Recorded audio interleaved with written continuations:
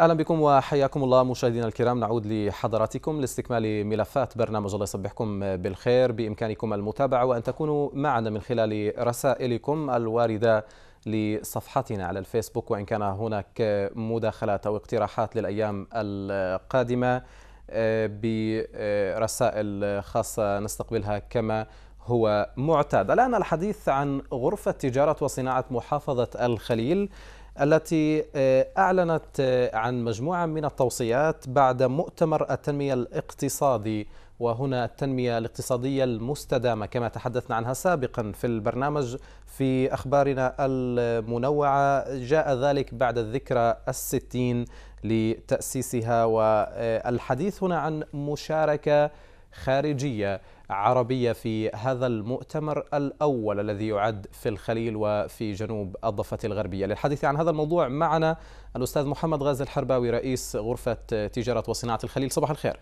صباح النور لك المشاهدين يعطيك العافية. أهلا بك آه، طريق كانت إن شاء الله تمام من الخليل لرام الله؟ الحمد لله. نعم. بداية الحديث عن التنمية الاقتصادية المستدامة وما تم عقده في الخليل مؤتمر يعد الأول من من نوعه. تحكي لنا عن المؤتمر. يعني المؤتمر كما تفضلت هو بمناسبة مرور 60 عام على تأسيس غرفة تجارة وصناعة محافظة الخليل وجاء هذا المؤتمر لتسليط الضوء على أهمية هذه المحافظة الاقتصادية ووزنها وثقلها الاقتصادي وأيضا للاست... وتمت دعوة مجموعة أو عدد كبير من رؤساء الغرف التجارية وخاصة العربية والصديقة للاطلاع على تجارب هذه الدول وهذه الغرف والاستفادة منها وكذلك علاقات لعمل علاقات استراتيجية طويلة الأمد مع هذه الغرف ومع المؤسسات ذات العلاقة. حتى نستفيد من هذه التجارب ونبدأ من حيث انتهوا. في في تجاربهم نعم. وأيضا كان الهدف من هذا المؤتمر زيادة الصادرات الفلسطينية إلى مختلف أنحاء العالم وخاصة إلى الدول العربية والصديقة والشقيقة. آه وأيضا كان من الأهداف والأهداف المهمة والهامة جدا أعتقد هو تغيير الصورة الذهنية الموجودة حتى لدى الدول العربية عن فلسطين وعن البيئة الاستثمارية في فلسطين وعن آه، يعني الأمن والجدوى الاقتصادية التي تتمتع بها آه، المشاريع التي يمكن أن تقام في فلسطين وأيضا البيئة التشريعية. طيب كما هو معروف ويعلم الجميع بأن الخليل هي عاصمة الاقتصاد الفلسطيني يعني باعتراف الجميع وهي العمود الفقري لمحافظات الوطن من حيث الاقتصاد. آه، كيف تقرأ غرفة آه، تجارة وصناعة الخليل آه، هذا الكلام؟ كيف تساعد التجار؟ تقف إلى جانبهم؟ بالإضافة أيضا كيف تنمي القطاع الاقتصادي؟ يعني هذا المؤتمر وهذا المعرض هو جاء تلبية أو جاء يعني دعما للواقع الذي تفضلت به.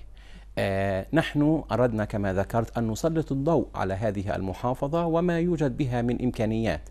ويعني كانت هناك رؤية من مجلس إدارة غرفة تجارة وصناعة الخليل بأن يكون هناك معرض على هامش هذا المؤتمر. حتى يعني كما تعلم المؤتمر هو مجرد يعني آه، أوراق عمل وحديث ولكن نحن أردنا أن يكون هذا الحديث مقرونا بالواقع ونري العالم بأننا لا نتحدث آه، فقط وإنما هناك واقع موجود وهو الصناعة الفلسطينية الموجودة وكان هناك حوالي 50 آه، شركة أو 50 مصنع ومعظمها أو جميعها وأستطيع أن أقول جميعها لديها القدرة على التصدير لا بل هي تصدر إلى العديد من الدول في جميع أنحاء العالم وعلى رأسها الدول الأوروبية أيضا ليس الدول العربية فقط. وبالتالي يعني أعتقد أنه يعني إقامة هذا المؤتمر وهذا المعرض هو دعم من الغرفة التجارية آه، للقطاع الاقتصادي وللمصانع وللشركات الموجودة في هذه المحافظة. طيب سيد محمد أثناء متابعتي لهذا الموضوع تصفحي لصفحات إلكترونية. أيضا الفيسبوك تحدث عن مؤتمر الخليل الاقتصادي الأول الذي عقد قبل أيام من الآن واختتم أيضا يعني بالأمس تقريبا امرأة زائرة للمؤتمر أعتقد من البحرين حسب قراءتي. قالت إن يعني ما شفت هذه الصناعات موجودة في مكان ثاني وقيل بأنه هاي فلسطينية ما كنت صدقت. فعلا أنا لما شفتها على أرض الواقع أفتخر بالصناعة الفلسطينية وهي من أفضل الصناعات. كيف تم هذا الحديث وبناء على إيش؟ قالت؟ يا سيدي هذا الحديث تم آه، من آه، سيدة أو من سمو الشيخة الشيخة مريم بنت خليفة آل خليفة وهي من العائلة المالكة في البحرين. آه، يعني من الجدير بالذكر أن هناك كان وفد كبير من البحرين من سيدات الأعمال في البحرين من منتدى سيدات الأعمال في البحرين وأيضا من الغرفة التجارية وكان يضم مجموعة من رجال الأعمال البحرينيين وطبعا أعضاء في الغرف التجارية وعدد كبير من رجال الأعمال. آه، عندما رأت المعرض ورأت الصناعة الفلسطينية قالت أنا يعني لو قيل لي بأن هذه الصناعة صناعة فلسطينية رأيتها في أي مكان آخر لم أكن لأصدق.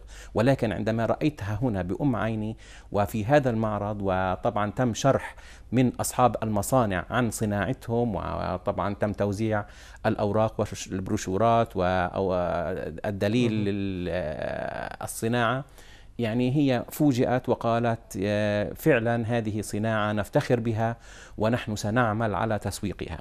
من هنا يعني ذكرت تغيير الصورة الذهنية آه، للإخوان وحتى الإخوان العرب عن فلسطين وعن آه، آه، يعني إمكانية الاستثمار في فلسطين وعن جدوى الاستثمار في فلسطين والجو الآمن في فلسطين. يعني البعض لم يكن يتوقع أن يكون أن ننعم بهذا الأمن والأمان وأيضا البيئة التشريعية الموجودة في فلسطين لإقام للاستثمار وإقامة المشاريع الاستثمارية. طيب آه، يعني على بناء على ما ذكرت بأنه في هناك بعض الصناعات فعلا تصدر إلى العالم آه، تشتهر معظم المدن الفلسطينية بتصدير بعض آه، المواد إلى كل العالم ليس فقط الوطن العربي. بناء أيضا على ما تم عرضه في في المعرض. آه، بدنا نعرف إحنا والمشاهدين إيش اللي عرض في المعرض إيش الأمور اللي اعتمد آه، آه، عليها أهل الخليل محافظة الخليل الغرفة التجارية الصناعية بعرض مواد أو منتوجات تحدث عنها العرب. يعني كما هو معروف الخليل تشتهر بالحجر. والحجر معروف عالميا ويصدر إلى جميع أنحاء العالم.